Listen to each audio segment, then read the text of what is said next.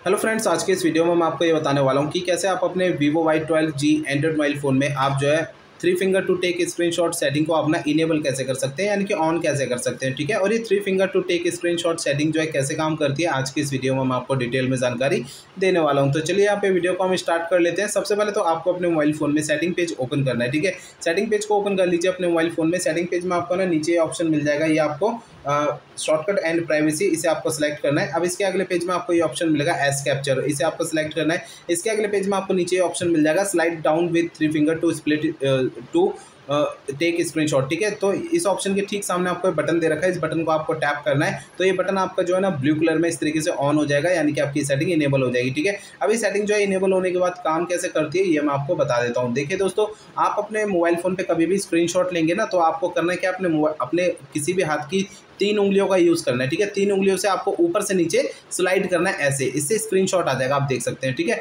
तो आप जो है दूसरे तरीके भी आप यूज़ कर सकते हैं ठीक है? बटन की मदद से या फिर कोई और भी ऑप्शन आपका है, उससे भी आप स्क्रीन ले सकते हैं, लेकिन ये सेटिंग ऑन करने के बाद आप तीन उंगलियों से भी स्क्रीन ले सकते हैं, ठीक है? तो ये सेटिंग जो है इस तरीके से काम करती है। अब मैं आपको इस सेटिंग को है ना ढूँढने का एक शॉर्टकट तरीका बताता हूँ आपके फ़ोन में। इसके लिए आपको मोबाइल फ़ोन का सेटिंग पेज फिर से ओपन करना है स्टार्टिंग से, ठीक है? सेटिंग पेज में आपको सबसे ऊपर सर्च आइकन सेलेक्ट करना है और यहाँ पर आपको सर्च बार में सेटिंग का नेम आपको टाइप करना है। Slide down with three finger to screen ठीक है? टू टेक स्क्रीन ठीक है? तो यहाँ पर मैं टाइप कर देता हूँ, ठीक है? सेटिंग का नेम तो ये ऑप्शन आपको नीचे शो हो जाएगा। यहाँ पर आपको एक बात का ध्यान रखना है कि जब भी आप इस सबसे ऊपर सर्च बार में सेटिंग का नेम आप टाइप करेंगे तो यहाँ पर आपको स्पेलिंग मिस्टेक नहीं करनी है। अगर आप यहाँ पे स्पेलिंग मिस्टेक करेंगे तो आपको नीचे की साइड ये ऑप्शन दिखाई नहीं देगा। इस बात का भी आपको ध्यान रखना है, ठीक है? तो चलिए वीडियो को आगे कंटिन्यू करते हैं। जब ये ऑप्शन नीचे शो हो जाएगा तो इसे आपको सेलेक्ट करना है, ठीक है? इससे क्या होगा, आपका मोबाइल फ़ोन जो है आपको डायरेक्टली सेटिंग के पेज में लेकर आ जाएगा और नीचे की साइड आपको ये ऑप्शन मिल जाएगा।